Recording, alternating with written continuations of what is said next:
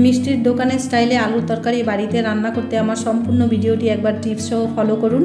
আলুর তরকারি একদম মিষ্টির দোকানের মতন তৈরি হবে আর খেতেও দুর্দান্ত স্বাদের।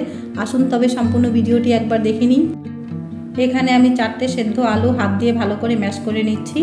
এতে করে ঝোলটা গাঢ় আর খুব সুন্দর তৈরি হবে আর খেতেও ভালো লাগবে। এবার আমি একটা কড়াই বসিয়ে দিয়েছি। কড়াই গরম হয়ে আসলে দিয়ে দিচ্ছি দুই চামচ পরিমাণ সর্ষের তেল। সর্ষের তেল গরম হয়ে আসলে দিয়ে দেবো গোটা জিরে।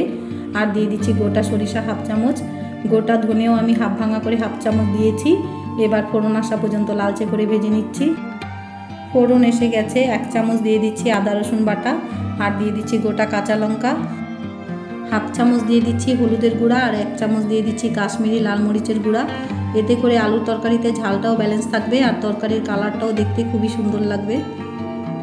এবার সব মশলাগুলো একসঙ্গে ভালো করে কষিয়ে নেব। মশলাগুলো এক মিনিট কষিয়ে নিয়ে হাফ ভাঙা করে রাখা আলুগুলো আমি দিয়ে দিচ্ছি।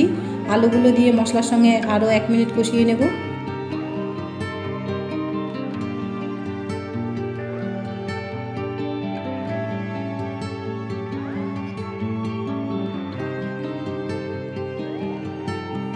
মশলার সঙ্গে আলুগুলো এক মিনিট কষিয়ে নিয়ে এবার দিয়ে দিচ্ছি এক গ্লাস পরিমাণ জল।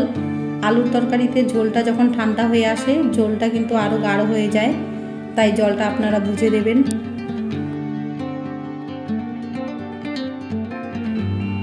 ঝোলটা হালকা ফুটতে শুরু করলে স্বাদ অনুযায়ী লবণ দিয়ে দিচ্ছি এক চামচ আর দিয়ে দিচ্ছি কাসুরি মেথি।